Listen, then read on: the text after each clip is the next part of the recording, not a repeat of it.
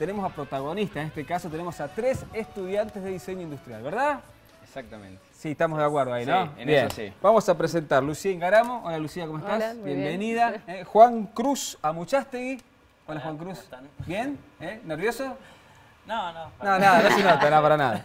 Y además también está Matías Nieto con nosotros. Bueno, chicos, bienvenidos. Eh, sé que estuvieron allí en el Córdoba Diseña y los quiero escuchar, más allá que vamos a hablar después de lo que han sido estas producciones o, pre- o diseños que han presentado, pero una, una reflexión sobre lo que fue la participación de ustedes en este evento y ahora con la facultad ya con una muestra propia, ¿no? Bueno, nosotros estuvimos eh, participando en el Domo de Universo Faud. eh, hemos estado todos los días de la muestra y fue como una especie de, de guía que le hicimos a la gente eh, al momento de entrar al Domo.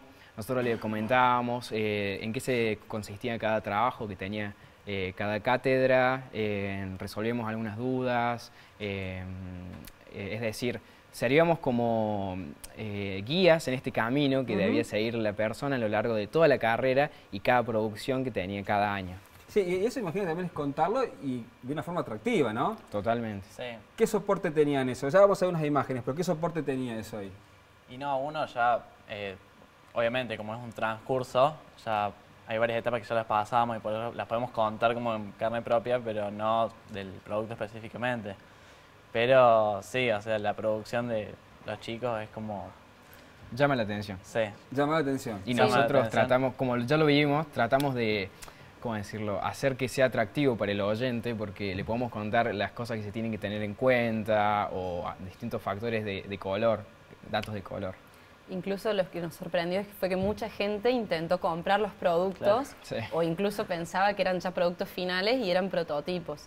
Entonces eso también nos dio una idea de la buena calidad de producción que, que tienen pegando, los ¿no? trabajos. Sí. claro. productos. Claro. Son Claro. maquetas, pero son... Claro, y nosotros lo lindo fue que desde estando ahí lo podemos contar desde un lado propio nuestro, digamos, Claro. de realmente las cosas que enfrentamos a la hora de producirlo, de diseñarlo y todo eso. ¿No vendieron nada? No, no, no, No, no vendimos nada. bueno, cuéntenme qué estamos viendo acá.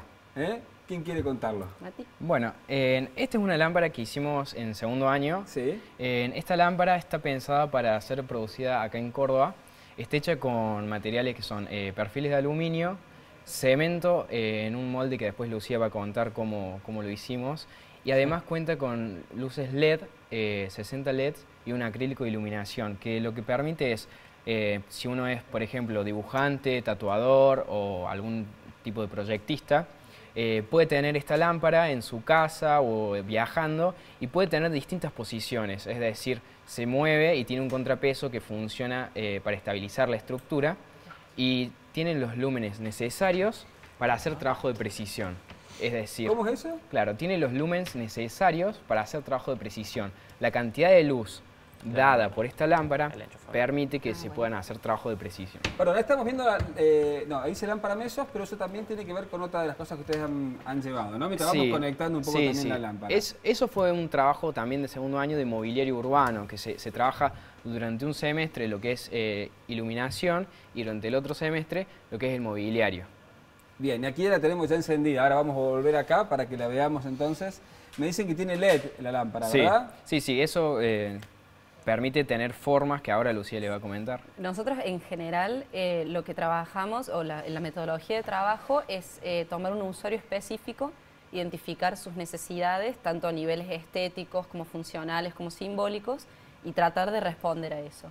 En nuestro caso, los usuarios eran proyectistas, eran arquitectos o artistas plásticos y demás. Que tiene un tablero que Claro, necesitan buena iluminación Bien, y necesitan por ahí esto de eh, poder ponerla en distintas posiciones. Sí.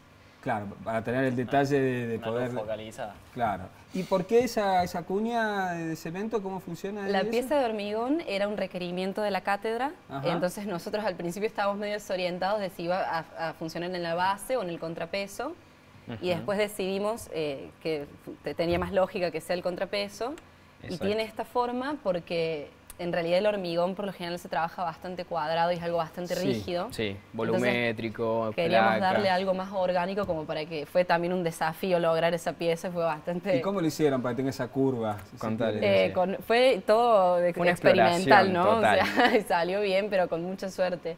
Hicimos una mezcla de alginato, que es esa pasta que te hace, con el que te hacen el molde los ortodoncistas. Sí, sí, sí. Primero esto lo tallamos en polifán, o sea, tallado a mano, contorno. Hicimos la mezcla, metimos la forma y luego la bipartimos y entonces Generamos llenábamos, claro, teníamos esta mitad por un lado y esta por otro, entonces llenábamos cada molde y los uníamos. Es una creación total de ustedes. Total, sí, totalmente. 100%. Eso es lo que tiene mucho el diseño cuando por ahí estás creando piezas únicas o tenés una industria que no está tan desarrollada.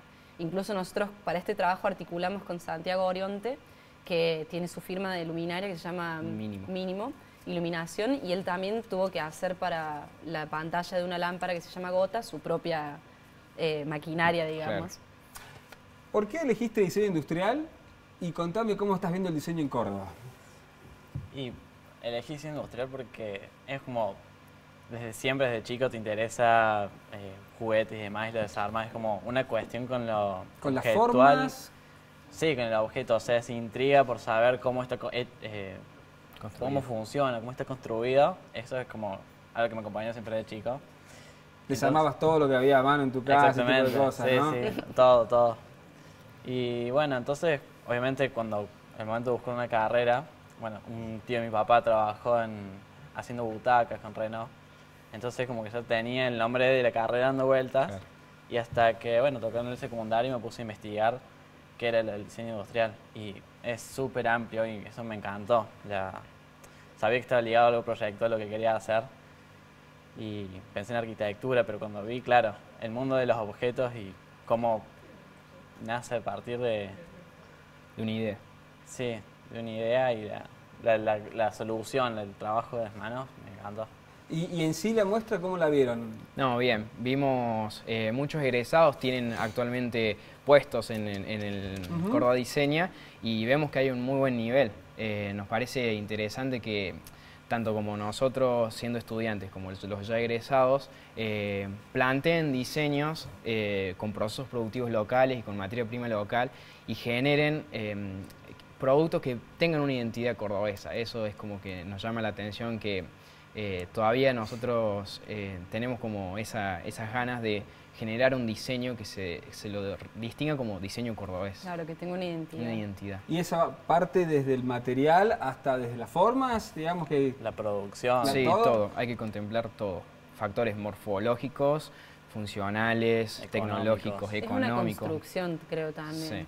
Sí. Y la carrera, si bien no es nueva, es joven todavía. Claro. Es joven. Entonces estamos en eso. Sí.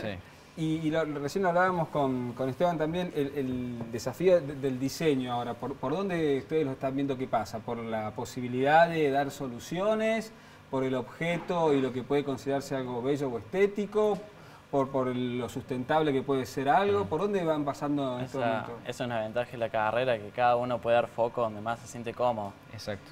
Y Ac- sí, Actualmente, eh, con el tema de, como decía el profe, de los nuevos materiales, está muy interesante. Hay, hay, hay nichos en el mercado que eh, no se aplican diseños específicos, como por ejemplo en el mobiliario urbano. Eh, hay, hay productos estándar que no responden bien a quizás necesidades de ciudades determinadas. Y es, ahí, por ejemplo, es un foco eh, en el que se puede trabajar, generar productos, eh, mobiliario urbano, por ejemplo, que responda a una identidad de una ciudad específica y que no sea similar, a, por ejemplo, que no sean todos los mismos bancos en todas las mismas plazas.